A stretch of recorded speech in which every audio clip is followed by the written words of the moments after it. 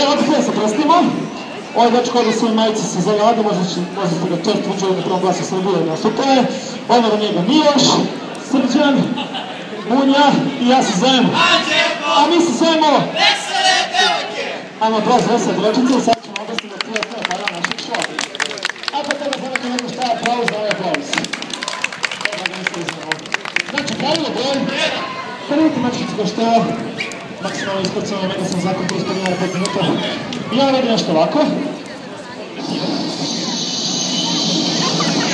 Šta radite? A prvo brojate, znači da vidite nešto da se tiče, vi to radite aplauzom čekate i pravilo broj. Kad vidite nešto počuje bez veze, Morate se rediti, mislim na pokret. Pošto je break veoma težak nekad se slovimo, šta onda radite?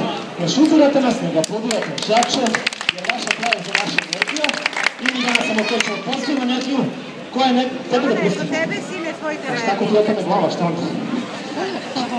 Sad je pogledaj. I mi danas samo hoćemo pozitivnu energiju. E, i naše pravilo broj 3 su naši menadžeri.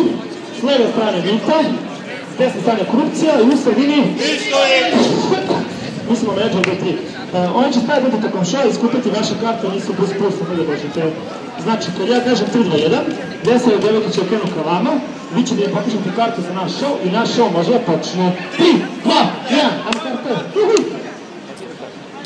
Niko nema karte. Kokice, šnjokice, sladoled, torbice. Pa niko nema karta. Znate kako kažu? Nema karte. Ajmo što? Ajmo! Ma neću bre kuće da idem, kuće idem, imaš ti kartu. Pa kaže ljudima kako zvoni. Dajte džep razum, molim.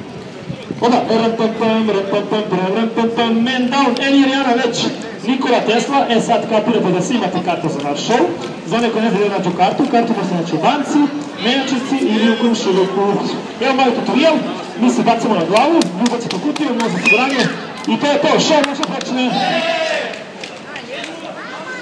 Ja, da, da ga publika, ja se izvinjam, ima još jedna stvar. A, nije pravilo, morate znate, ove devojke nisu sponzoriše i nije bilo zbog para, već isključivo iz ljubavi. Zašto? Zato što volimo pare!